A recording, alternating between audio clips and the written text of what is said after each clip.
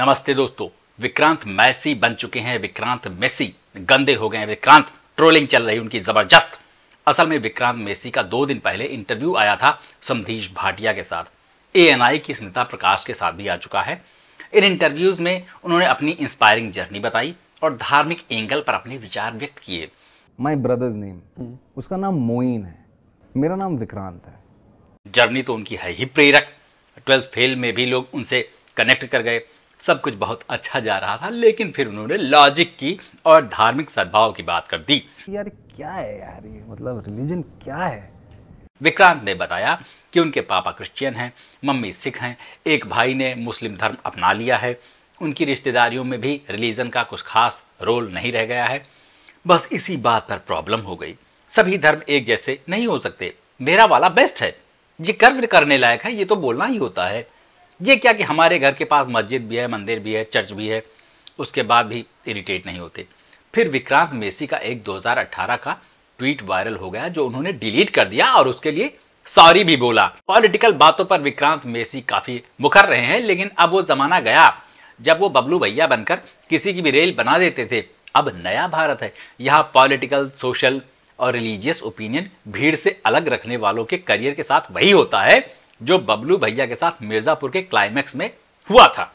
क्योंकि आजकल मुन्ना भैया घर घर बैठे हैं, हाथ में मोबाइल लेकर ट्रोल करने में एक सेकंड नहीं लगाते।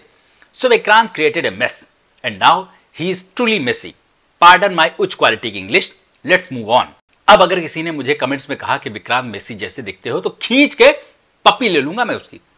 अरे भाई, वो इंसान अच्छा है, बस बदनाम बहुत है।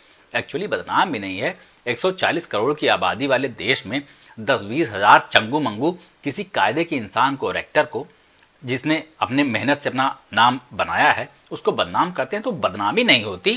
Don't do just chill memes देख के भी मज़ा आ रहा है कितने सारे फ़िल्मों के सीन याद आ गए। क्रांतिवीर का ये हिंदू का खून, ये मुसलमान का खून, ये वाला, जब बनाने वाले ने भेदभाव नहीं किया तो तुम कौन होते हुए पीके का ये वाला सीन और हंगामा पिक्चर का ये राजपाल यादव।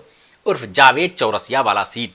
कितना कंटेंट है यार। इसीलिए तो साला मुझसे कोई काम ढंग का हो नहीं रहा। एक बार कंटेंट देखना शुरू करो तो ख़त्म ही नहीं होता। लेकिन विक्रांत मेसी को आगे से ध्यान रखना चाहिए और अपने काम से काम रखना चाहिए।